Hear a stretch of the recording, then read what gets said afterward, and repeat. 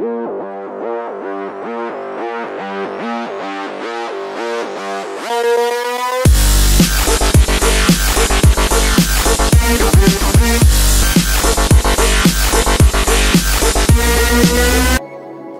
brain is enclosed within the skull, which provides frontal, lateral, and dorsal protection. The skull consists of 22 bones, 14 of which form the facial bones, and the remaining 8 form the cranial bones.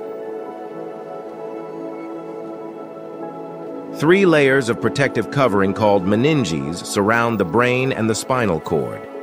These membranes, the dura mater, arachnoid mater, and pia mater, protect and anchor your brain and provide a support system for blood vessels, nerves, lymphatics, and the cerebrospinal fluid that surrounds your central nervous system.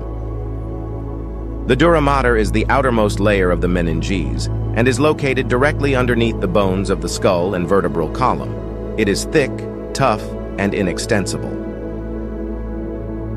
Spaces between the layers allow for the passage of veins and arteries that supply blood flow to the brain.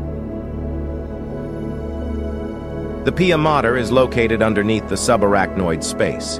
It is very thin and tightly adhered to the surface of the brain and spinal cord. It is the only covering to follow the contours of the brain, the gyri and fissures.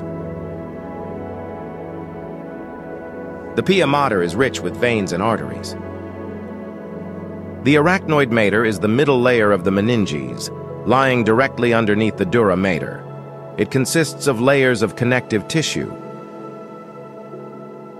Below the arachnoid mater is the cerebrospinal fluid, or CSF. This fluid cushions the entire central nervous system, brain, and spinal cord, and continually circulates around these structures to remove impurities.